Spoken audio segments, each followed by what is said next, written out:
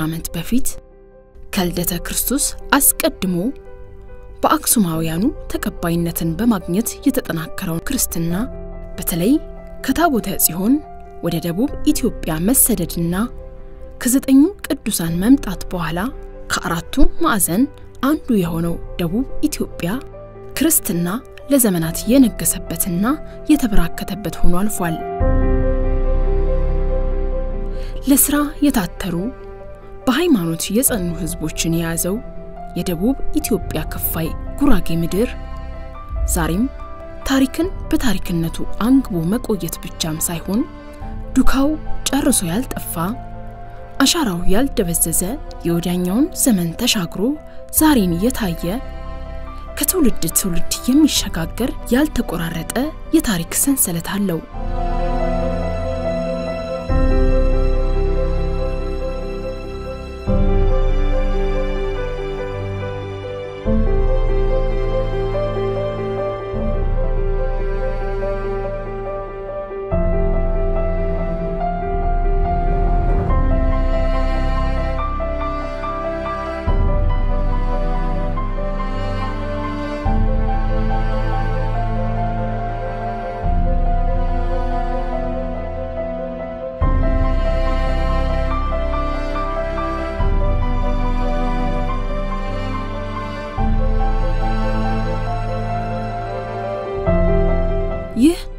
ከ13ቱ የጉራጌ ዞን ወረዳዎች አንዱ የሆነው ከዞኑ ርዕሰ መዲና ወልቂጤ በ52 ኪሎ ሜትር ርቀት ላይ የሚገኘው እዣ ወረዳ ውስጥ ጥንት አካባቢውን ያስተዳድር በነበረው ቆጠር በተባለው ጎሳና መሬቱን ሸፍኖ በኖረው ገድራ በሚል ስያሜ የሚታወቀው የጅብራ ዛፍ የሚጠራው ቆጠር ገድራ አካባቢ ነው።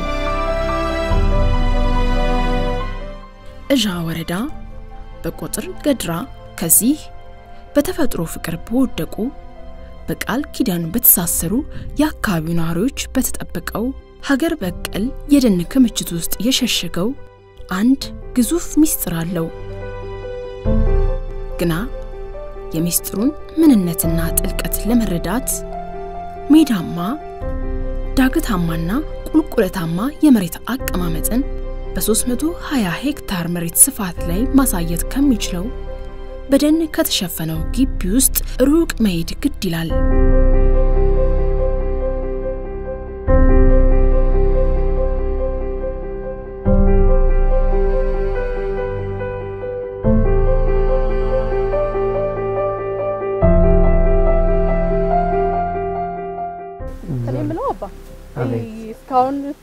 ተራራውን ዳገት ቁልቁለት እየወረድን መተናል። በዚህ በሚያምር ዛፍ ውስጥ እጅግ በጣም ግዙፍ ናቸው፣ ደስ ይላሉ። አረንጓዴ ነው እና ታዲያ ምንድን ነው ከዚህ በኋላ የማየው? እስካሁን ቤተ ክርስቲያን ጠብቄ ነበር። በእኛ አካባቢ መጥቶማ እንኳን ቆጠር ገድራ ሌላ ብዙ አለ የሚታይ።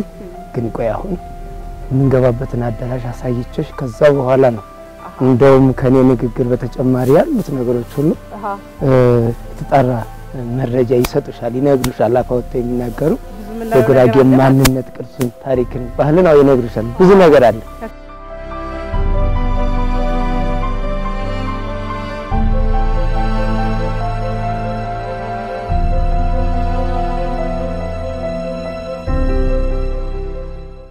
ከታገዛችሁ ብዙ ነው የምታዩት እያሉ ነው። በጣም አዎ፣ ትዕግስት የሁሉም ነገር ማግኛ ትልቋ መሳሪያ ነች። ነው እንዳንቺ ያለ አስተዋይና ባለሙያ ብዙ ነገሮች ነው የሚረዳው እዚህ ውስጥ ያንዳንድ ነገር ገና ብዙ ምስጢር አለ እንዳልኩሽ ስናይ ስናይ ብቻ ነው የሚነግርሽ። ግድ ነው ግድ ነው። አዎ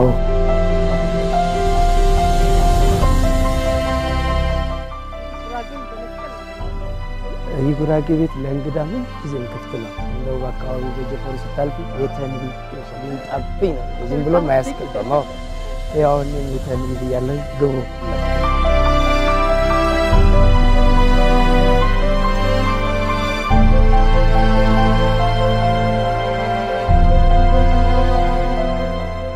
እንግዲህ አባ ከቅድም ጀምሮ ገና ምን አይታችሁ ገና ብዙ ታያላችሁ እያሉ ነበር እዚህ ድረስ ይዘውን የመጡት። አሁን የሚገርም የጉራጌ ቤት ውስጥ ነው ይዘውን የመጡት። ስፋቱ እንደምታዩት ፈረስ ነው የሚያስጋልበው።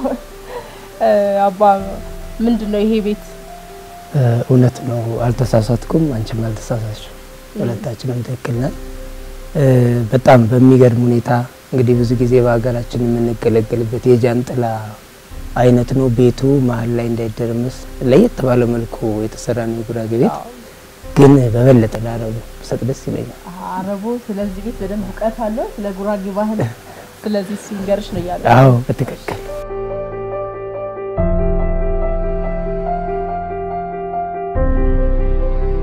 ሳየው የሆነ ለየት ያለ ነው። እንደዚህ አይነት ነገር ያየሁት ባንክ ቤት አካባቢ ነው። የሆነ ኮሜዲ ነው ይመስላል ባንክ ላይ የሚሰሩበት ነገር እና የጉራጌ ቤት ነው አውቃለሁኝ፣ ግን የተለየ ይመስለኛል። ምንድን ነው እስቲ ስለዚህ ቤት ንገረኝ። በአጠቃላይ ጉራጌ ከሌሎች ብሔረሰቦች የሚለየው ነገር ቢኖር የቤት አሰራርና የውስጥ አያያዙ ለየት አድርጎ ጉራጌነቱን ጎላ የሚያደርግለት እንደጠየቅሽኝ ስለዚህ ቤት ስጀምርልሽ ከውጭ በር ነው የምጀምርልሽ። ይችኛዋ አጭር በር አለች። አጭር በር ማለት የዚህ ለሌሎች ከሰው ውጭ ለሆኑ ሰው በሌለበት ሰዓት ይዘጋል። ይሄ ይሄ ተዘጋ ማለት እንስሳት ውሻ ምናምን ገብተው እንዳ ቤት እንዳያበላሽ ጠባቂ ነው፣ ዘበኛ ነው። የቀን ዘበኛ እንለዋለን። ይሄ ይሄ ደግሞ ማታ ማታ የሚዘጋ በነገራችን ላይ ሌተስት ነው፣ ዘመናዊም ሆኗል ይሄ ቤት በጣም አሁን በውድ ዋጋ የሚሸጡ በሮች እየተገጠመ ነው። ትክክል ነሽ። ድሮ ግን በእኛ ጊዜ የምናውቀው ወዝገብ የሚባለው በቀርከሃ ነበር የሚሰራው። የጉራጌ ቤት በነገራችን ላይ ምስማር የሚባል ነገር አያውቅም። ጉራጌ ከእንሰት ጋር ነው ያለው። እንሰትን ከምግብነት እስከ ቁሳቁስ ተጠቃሚነት ነው እየተጠቀመ ያለው። ስለዚህ ይህን ቤት ስታይ አሰራሩ ጠቅላላ እሱ ራሱ ካመረተው ቀርከሃ ከጥድ እና ከገመድ እና ምስማር አያውቅም። ምናልባት ቅድም በኋላ እንሄድባቸዋለን። እዛ ጋር ያልሽው ኮመዲኖ አካባቢ ስንሄድ ነው ምስማር ምናምን። ስለዚህ ከዛ አንጻር ይሄንን እናያለን። የተገጣጠመ ነው። ይሄ የምታየው ወለል ሳሎን ነው። በጣም ሰፊ ቤት ነው። በጣም ጉራጌ እንግዳው ሰፊ ነው። በጣም ብዙ ነው። በዓል አለ እና ሰርግ አለ፣ ለቅሶ አለ። እነዚህ ነገሮች ብዙ እንግዳ በሚመጣበት ጊዜ እዚህ ጋር ነው የሚያስተናግደው። ስለዚህ ይሄ ፈርቃቀት ይባላል በጉራግኛ የላይኛው አቅጣጫ ማለት ነው። ይሄ የታችኛው ደግሞ ውስጥ ቃቀት ይባላል። ፈርቃቀት ውስጥ ቃቀት ይባላል እና ያው እንግዳው እንደ ደረጃው እየተለያየ በዚህ ይቀመጣል ማለት ነው። እዚህ ጋር ስትመጪ ይሄ ምድጃ ነው፣ የባህል ምድጃ ነው። በጣም ነው የሚያምረው። ቀለም ነው። አዎ አዎ፣ ቀለም ተቀብቷል። local ቀለም ነው፣ ከፋብሪካ መጥቶ ሳይሆን ከራሳችን ከዚሁ የሚፈበረክ ነው እና ስሪቱ ከአፈር ነው የምንሰራው። ከአፈር ይሰራል። form ኡን ይሄ ምጃቻ ነው የሚባለው በጉራጌኛ ምድጃ ነው። ይህንን shape እናቶቻችን ካዘጋጁ በኋላ በጥላሸት ጥላሸት ማለት ከምጣድ ከጀበና ከምን የሚያገኙትን ጥላሸት ነው። አሁን ይሄ ቀለም ያልሽው እሱ ነው። እና እንዳይቆሽ እሳት ሲያነዱ በዛኛው እንትን ይላል። ይሄኛው እዚህ ጋር ጉድጓድ አለች። ይቻትልሽ እቺ ጉድጓድ ማለት የራሷ የእሳት ማስቀመጫ ናት። በጉራጌ ክብሪት መፈለግ ነውር ነው። እሳት ተዳፍኖ አድሮ እዚሁ ለነገ ያገለግላል። ይዳፈንና ለነገ ማታ ስተኛ አዳፍናት ታሳድራለች። ጠዋት ተነስታ ከዚህ አውጥታ እንትን ማለት ነው እና ይሄን ነው ማሳይሽ። ሌላው ደግሞ እነዚህ ጉልቻዎች ናቸው። የዚህ መጠቀሚያ እንደየ እቃው ደረጃ ነው የሚጠቀሙበት። ጎንዝዬ ይባላል። እርስ ጎንዝዬ፣ ንግ ጎንዝዬ ይባላል። ጀበና ከሆነ በዚህ ነው። ምጣድ ሲሆን ሰፊ ነገር ሲሆን ደግሞ በትልቁ እና እዚህ ጋር እያንደዱ የሚጠቀሙበት ነው። እንትን የቤቱ ዋናው ትልቁ ምሰሶ ነው። ይሄ ዝም ብሎ የሚገኝ አይደለም። የተመረጠ ዛፍ ነው። ጥድ ነው ምርጥ ጥድ። ለዚህ የተንጋደደ አይሆንም እና ቀጥ ያለ ነው። ውፍረቱም እንደዚሁ ነው። እንደዛ የሚለው እነዛ ወጋግራዎች ናቸው። አይተሽው እንደሆነ ቤቱ በጣም ሰፊ ስለሆነ እንዳይዘብጥ ነው እንዳይጎብጥ እንዳይዘብጥ ነው የሚከላከለው። ስለዚህ ከዛ በሶስት ደረጃ ነው የሚያዘው። ላይ የምታያቸው ሁለት አሉ። እነዚህ ደግሞ ባላ ባላ አላቸው እያንዳንዳቸው እና ከስፋቱ አንጻር እንትን እንዳይልበት ነው እና እንደዛ ነው። cone shape ነው በባህላችን። ይህንን ደግሞ የሚገርምሽ ይህንን የሚሰራ አናጺ በራሱ በተፈጥሮ መሐንዲስ ነው። ባህላዊ መሐንዲስ በቃ እዚቹ ጋር ማኑ ዲዛይኑ ሲያወጣ ብታዩ በጣም ትገረማለች።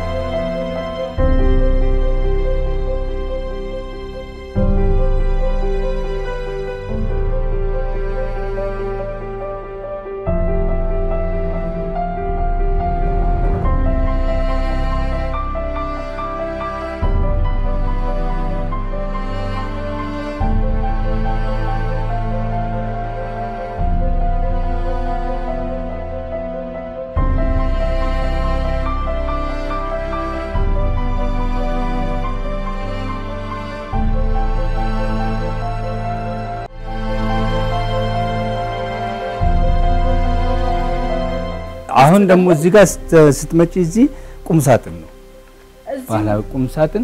እቃዎቻችን እዚህ ጋር ነው የሚቀመጡት። አሉ እቃዎች አሉ እዚህ።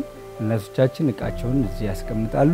ድሮ በባህላችን ሸክላ ነበር እዚች ጋር ተደርድሮ የምታዩ ባህላዊ እቃዎች። እነሱ ቢኖሩ በጣም ደስተኛ ነበርኩኝ። ግን አሁን በአጋጣሚ ያው ወደ ዘመናዊነትም እየተለወጥን ስለሆነ ባህሉ የቆመ ቤቱን መክፈያም ነገር ተጠቅማችሁበታል። ከዛ ደግሞ ማስቀመጫ ኮመዲኖ አለ። እዚህ ጋር ደግሞ ስታይ ስትመጪ መኝታ ቤት ነው። ይኸው መኝታ ቤት እዚህ ጋር በመጋረጃ የአባወራው መኝታ እዚህ ጋር አልጋ ይኖራል ብዬ አስባለሁ። አልተሳሳትኩም። አልጋ አለ።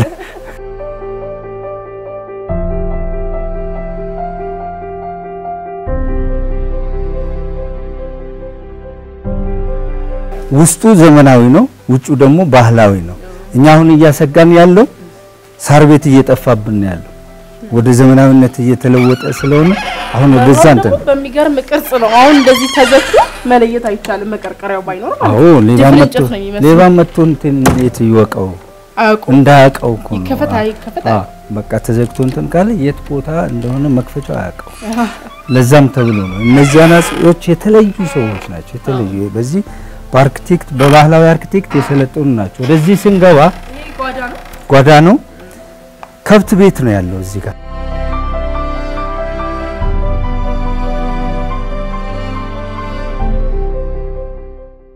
በጥንቃቄ የተሰራው ባለጥበበኛ እጅ የሆነውን የጉራጌ ብሔረሰብ ባህል ወግና ስርዓት የሚያሳይ የቤት አያያዝ ልክ ከፊት ለፊት ተሞሽሮ እንደሚታየው የእንግዳ መቀበያው ወይም ሳሎኑ ሁሉ የሜቲቱ ማጀት፣ የአባወራው የእጅ መሳሪያዎች፣ የከብቶቹ በረት፣ የጥጆቹ ማረፊያ፣ የዶሮቹ መስፈሪያና የፈረሶቹ ጋጣም ጭምር በወግ በወጉ የተቀመጡ ጉራጌ አይደለም ለእንግዳው የኑሮ አጋሩ ከሆኑት የቤት እንስሳቱ ጋር ያለውን ወዳጅነት የሚያሳይ ነው።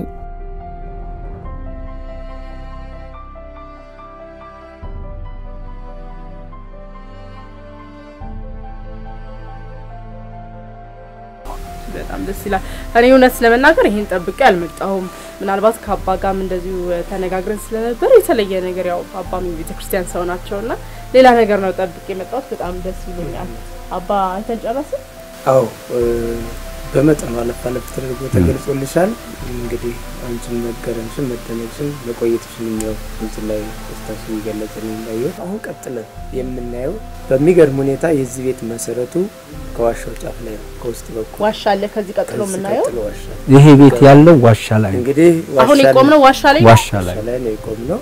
ደጋ ነው ሀገሩ። እንኳን ለዋሻ እንደው ለጥሩ ጉድጓድ እንኳን የሚሆን አይመስልም አካባቢ ግን ሆኖም ያኛው ከእምነታችን ጋር ያለውን ግንኙነት ነው የምንገልጽበት ስለሆነ ቀጥለን እናያለን።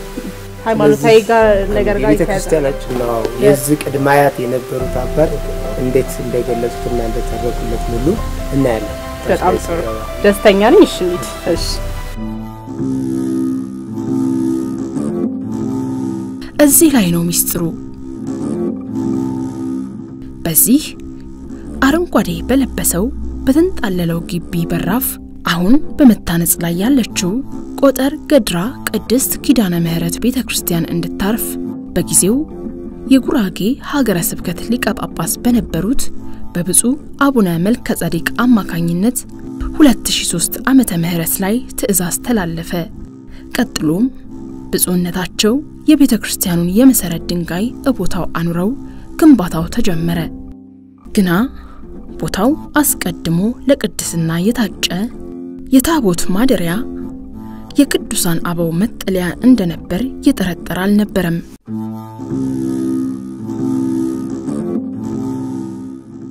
የቤተ ክርስቲያኑ ግንባታ በዚያው 2003 ዓመተ ምህረት መሰራቱን ቀጥሏል። ግና ጊዜው ብዙም ሳይርቅ ዓመቱን ጠብቆ ከሰሜን ጣና ገዳማት ወደ ጉራጌ አካባቢ ያቀኑ አንድ የበቁ አባት ስፍራው በቀደመው ጊዜ የቅዱሳን አባቶች መስፈሪያ እንደነበርና በርካታ ዋሻዎች ከመሬቱ በታች ተቀብረው እንደሚገኙ አበሰሩ። እናም ሀገሬውን በማሳመን ይህንን ባለሶስት ክፍል ትልቅ ዋሻ ጨምሮ ሰባት ያህል ዋሻዎችን ከመሬቱ ስር አስቆፍረው አወጡ።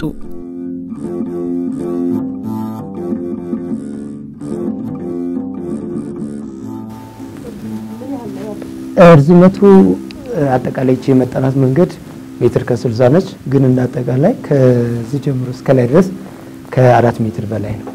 ከመጀመሪያው ክፍል ይልቅ ይሄኛው ለቁመታችንም ዘና ብለን የሚቆምበት ረጅም ነው። እውነት ነው። ይሄኛው የት ምን ክፍል የሚባለው? ይሄኛው ያው በቤተ ክርስቲያናችን አሳይም መሰረት የመጥምቀ መለኮት ቅዱስ ዮሐንስ ጽላት የተገኘው እዚህ ውስጥ ነው። መጋረጃ ውስጥ ካለው አዎ መንበር ውስጥ ነው እና በአብዛኛው ዘወትር የሚቆሙት የኪዳን፣ የሰዓታት፣ የምህላ፣ የመስታኮት ጸሎት የሚደረስበት ስለሆነ ወደ መቅደሱ የተጠጋው ያኛው ወደ ቤተልሔም የሚሄድ መንገድ አለ። ያው መንገድ አለው አለው በራቸው እያንዳንዱ ምንም ሳንነካው የአፈሩ ሲነሳለት ይሄን ይዘው ራሱ ነው እንደዚህ ሆኖ ራሱ ነው የሚወርደው። አሁን ይሄ ለማሳያ ወይ ከጎን ሊሳነሳለት ራሱ የነበረው ነው የምናገኘው ራሱ ነው ማለት ነው።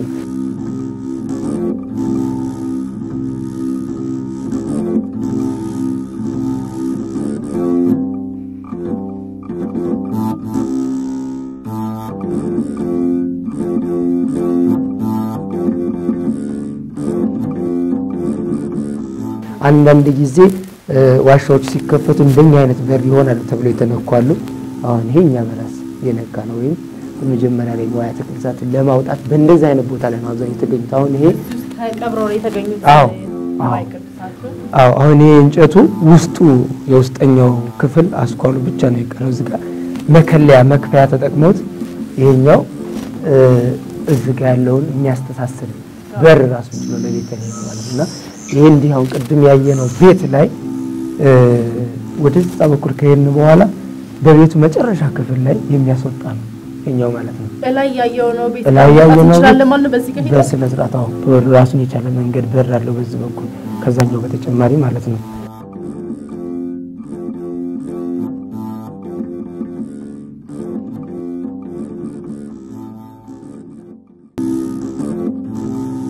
እነዚህ ደብረ ቢዘን፣ ደብረ ጎለጎታ፣ ቤተ መድህን፣ ቤተ ጠበብት፣ ቤተ ኤፍራታ፣ ቤተ ደብረ ብርሃንና ቤተ ደናግል እየተባሉ የተሰየሙ ዋሻዎች ከ600 እስከ 19ኛው መቶ ክፍለ ዘመን ለተለያዩ የአምልኮ ክዋኔዎች የዋሉ እንደሆኑና በተለይ ከክርስትና ወደ ደቡብ መስፋፋት በኋላ በተነሱ ግጭቶች ምክንያት በክርስትና ይኖሩ የነበሩ አባቶች የቤተ ክርስቲያን ንዋየ ቅድሳትን ለመሸሸግ ብሎም ለልዩ ልዩ ሃይማኖታዊ ክዋኔዎች ይጠቀሙባቸው እንደነበር በቦታው በከፊል የተደረገው ጥናት አመላክቷል።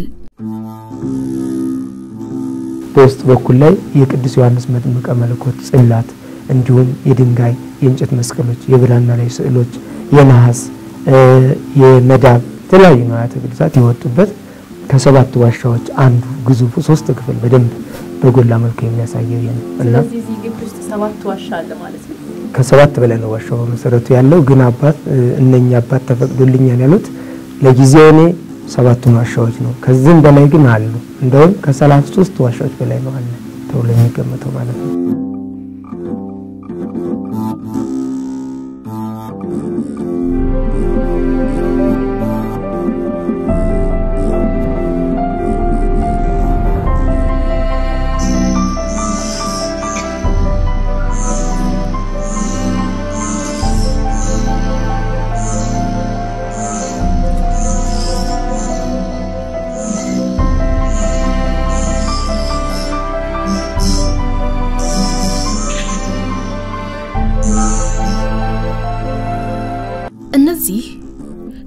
ተራርቀው የተቀመጡ ነገር ግን ከአንድ ኪሎ ሜትር ባልበለጠ ርቀት ውስጥ ለውስጥ የተገናኙ ዋሻዎች በጣሪያቸው ወይም በላይኛው አካላቸው ላይ ያረፈው የመሰርሰሪያ ቅርጽ ተመሳሳይነት ዋሻዎቹ በአንድ ዘመን የተፈለፈሉ መሆናቸውን ሲያመላክት፣ ጠልሽቶ ወይም ጠቁሮ የሚታየው አካልም በዘመነ ኦሪት መስዋዕት ሲቀርብባቸው እንደቆዩ ቤተ ክርስቲያኗ ታምናለች።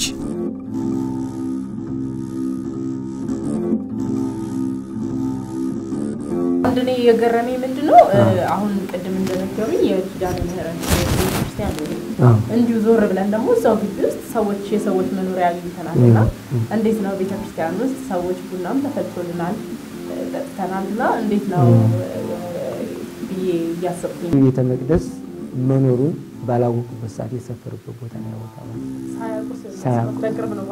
ዋሻው ቅርብ ጊዜ ነው። ይሄ ቤት ጥንት ቅድመ አያት አያት በፊት ያዩ ሰዎች ናቸው። እንግዲህ ቆጠር የሚባለው ቤተሰብ ነው ይህን አካባቢ ያቀናው።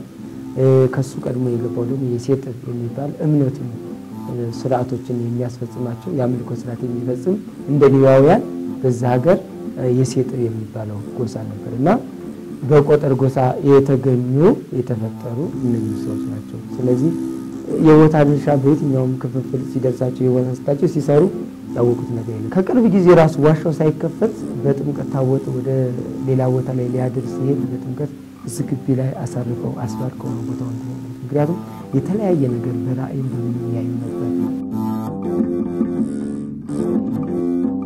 መሬቱ ተቆፍሮ ከወጡ ዋሻዎች አንዱ የሆነውና በትልቅነቱ የሚታወቀው ይህኛው ዋሻ ከሌሎቹ በተለየ ድህነትን ለምእመኑ መስጠት የሚችል የውሃ ጠብታ ወይም ጸበል ያመነጫል።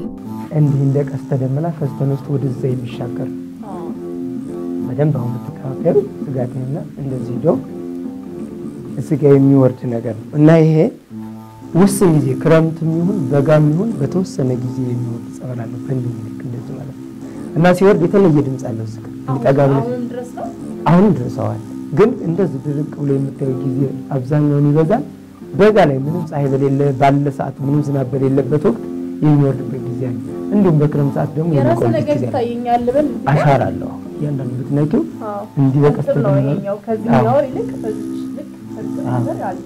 አዎ ይሄ እያንዳንዱ ውሃ የሚወርድበት በደንብ ይወርድና እነኚህ ጋር ይጠራቀማል። ከዛ እድል የገጠመው ነው በዛች በኒኬሉ አንድ ቅባ ቅዱስ ትንሽ ትንሽ እየሰጠናቸው ብዙ ህሙማን የተፈወሱበት እጅግ ብዙ ማለት ነው። ለመዳን ተቸግረው ለብዙ ዓመታት የተሰቃዩ ምዕመናን ህሙማን የተፈወሱበት ጸበል ነው ይሄ እና እንደውም የከፈቱት አባት ምንድን ነው የሰየሙት እንዲህ አልፎ አልፎ ስለሚወርድ የእመቤታችን እንባ ይሉታል። እመቤታችን በስደቷ ወቅት ይህንን ቦታ ይህን አካባቢ እንደባረከችው በታሪክ ይታወቃል። ማለት ኤነራ ማኑኤል ምሁር ገዳም ኒካዴ አቡነ ዜና ማርቆስ የጸለዩበት እነሱም ቦታዎች እንዳረፈችበት ሁሉ ይህም ቦታ እንዳረፈችበት ነው የሚነገረው በታሪክ ላይ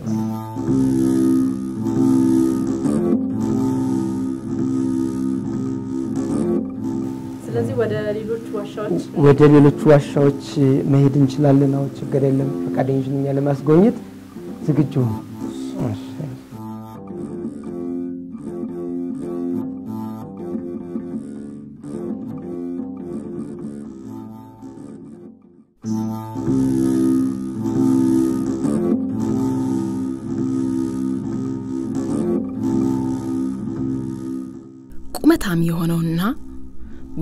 ለውስጥ በርካታ ክፍሎችን የያዘው እንዲሁም ከሌሎቹ ዋሻዎች ጋር የሚያስተሳስር መንገዶች ያሉት ሁለተኛው ዋሻ በውል ያልተጠኑ መቃብር መሳይ ስርጉዶችና ከአለቱ ላይ ተፈልፍለው የተሰሩ መስቀሎች የሚታዩበት ሲሆን በተለይ በዘመኑ ከነበሩ ቅዱሳን አበው አንዱ የነበሩት አባ ማትያስ በዚህ ዋሻ ውስጥ በልዩነት የጸለዩበት እንደሆነ ይታመናል።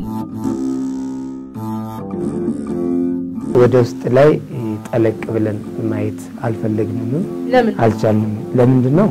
አንደኛ በሁለት መልኩ ነው ዋሻው መጀመሪያው ሲገኝም አሁንም ቀጣይም ሊጠና የሚገባው በሁለት አንደኛ በቤተ ክርስቲያናችን ሕግና ስርዓት ደንብ መሰረት በሱባኤ በጸሎት ነው።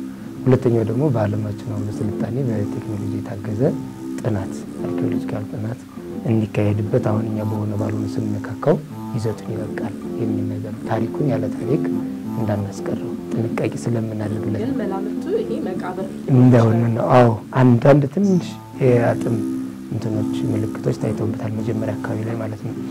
ሌላው መስቀል ያልኩት ይሄ ነው። ይህ እንደዚህ አይነት መስቀሎች በእንደዚህ መልኩና እንደዚህ በቀይ አፈር እንደዚህ ተለስነው እና በጥቁር አሉ። ሌላ ዋሻውን ትንሽ የመጀመሪያ የተከበታቸው ዋሻ ላይ መስቀሉ እንደዚህ ሆኖ ግን በጥቁር እንትን እንደዚህ ማለት ነው። ከዚህ ዋሻ ውስጥ የካህናት አልባሳት፣ የእጅ መስቀሎች፣ የቀንድ መቋሚያ፣ የብራና ስዕሎችና በርካታ ንዋየ ቅድሳት ተገኝተዋል። ወይም በቤተ ክርስቲያኗ ቋንቋ ቤተ መዘክር እስኪሰራ ድረስ በአንድ ላይ ተሰብስበው ቅዝቃዜንም ሞቃትን የሚቋቋም ቦታ ላይ የተቀመጡት ማለት ነው። ተሰብስበው ተቆልፈው ጥበቃ ተደርጎላቸው ጽላቱ ራሱ በራሱ ጽላቱ እንደ ቅርስነት እንጂ አገልግሎት አንገለገልበትም።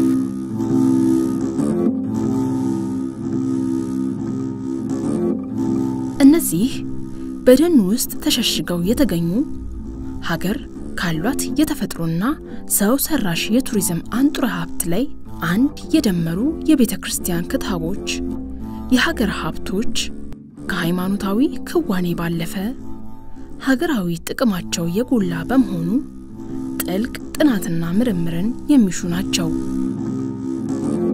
አይደለም ለዚህ ለኢትዮጵያ ለአፍሪካ የሚተርፍ ነገር ነው። እጅግ በጣም የማስ ሚዲያዎች የማስፋፋት የማስተዋወቅ ስራዎች ቢሰሩልን ከዚህ ከዣ ከወረዳው አልፎ ዞኑ ከዞኑ አልፎ አገሩ የሚጠቅም እምቅ ሀብት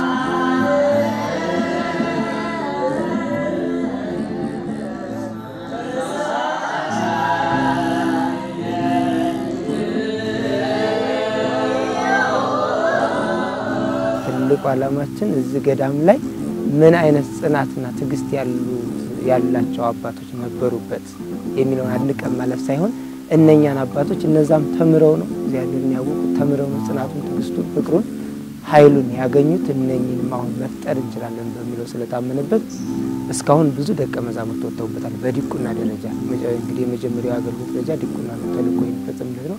ለዚህ አገልግሎት ደግሞ በጣም የሚያስፈልጉት ወጣቶች ህጻናት ናቸው እና እነኝን ህጻናት ዘመናዊ ትምህርታቸውን እየተማሩ ጎን ለጎን የኛውን ትምህርት እንዲማሩ ነው። በተጨማሪም እንዳልሽው የጥናትና የምርምር ማዕከል እንደውም እብነ አድማስ የሚባል አሁን ጠፍቶ ያለ በአንድ ቦታ ላይ ብቻ የሚገኝ ትምህርት አለ። የድንጋዮች አለቃ እና የብዕር የጽህፈቶች በአሁኑ ሰዓት ፊደሎች ተቀላቅለው ነው ያሉት። በብዙ ቦታ ላይ ስናይ መጽሐፍት መጻፋቸውን እንጂ ምን አይነት ፊደል ለምን ያስፈልገዋል አንድና ብዙ ሴትና ወንድ የተቀላቀለበት ነገር እንደዚህ አይነት ትውልድ እንዳይፈጠር እንደዚህ አይነት ትውልድ ሳይሆን የጥንት አባቶችን ያን ብራና ፍቀው ቀለም ፍቀው አሁንም ቢሆን በተግባር የተቀረጹ ፊደል ነው።